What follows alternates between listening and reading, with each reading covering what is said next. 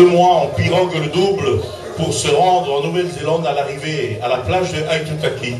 Et les, marquis- les guerriers marquisiens descendent du pirogue et interprètent la danse du cochon. Et les guerriers marquisiens qui sont venus accueillir l'équipage, bien sûr, à la plage, ont été surpris de cette danse.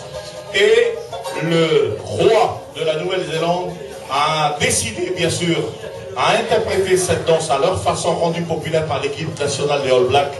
Voici le véritable haka de nos cousins des îles Maoris.